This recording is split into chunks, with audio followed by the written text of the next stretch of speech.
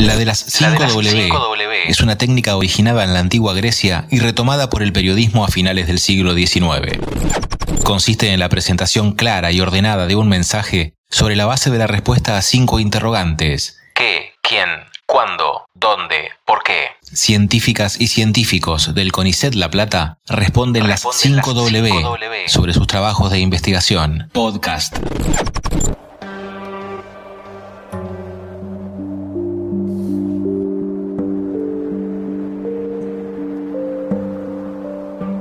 Me llamo María José Villalobos Zambucaro, soy doctora en Ciencias Naturales, egresada de la Universidad Nacional de La Plata y desarrollo tareas de investigación como becaria postdoctoral del CONICET.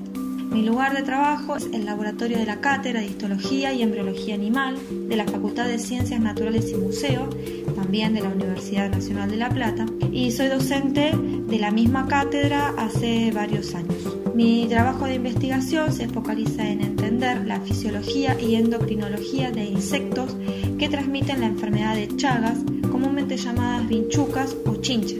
Para ello utilizamos distintas disciplinas como la biología molecular, la bioinformática, así como los ensayos fisiológicos, para profundizar los conocimientos que buscan entender cómo se dan ciertos procesos, como por ejemplo la contracción muscular del corazón o del sistema digestivo, o del crecimiento y el desarrollo de los mismos, y a la vez cómo son regulados estos procesos. La transmisión del parásito se da cuando el insecto chupa sangre y allí se inicia un proceso fisiológico denominado diuresis post-ingesta.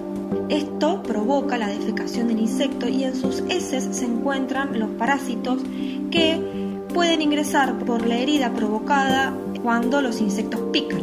Mediante experimentos tratamos de entender cómo son los mecanismos que regulan la contracción muscular del sistema circulatorio y digestivo, cuyos movimientos están vinculados al proceso de diuresis antes mencionado.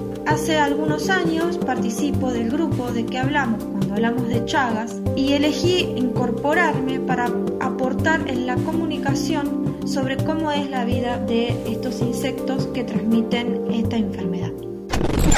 Podcast.